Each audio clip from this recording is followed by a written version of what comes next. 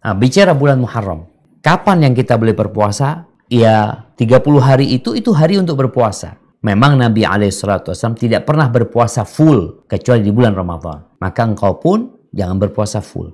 Engkau boleh berpuasa dipilih harinya. Hanya saja ada hari-hari yang mulia. Salah satunya berkaitan hari Senin, hari Kamis, yang itu ada sepanjang tahun. Sehingga engkau di bulan Muharram, Anda mau puasa Senin, Kamis, Senin, Kamis, silahkan. Namun ternyata di 30 hari itu ada hari yang paling mulia, yaitu tanggal 10 Muharram. Dan kalau bisa puasa sebelumnya sehari atau sesudahnya. Kalau bisa tiga hari itu.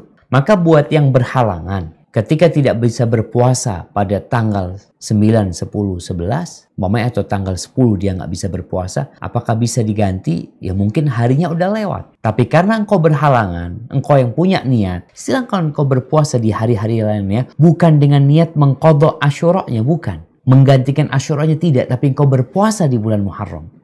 Jadi kemudian puasa tiga hari di bulan di setiap bulan itu. Nggak harus tanggal 13, 14, 15. Boleh bahkan dianjurkan 13, 14, 15. Tapi kalau engkau mau mengambil tiga hari lah. Ustaz anak bisanya puasa hari ini Ustaz. Besok anak bisa puasa tanggal 18, 19, 20. Silahkan. Nggak ada masalah untuk hal itu.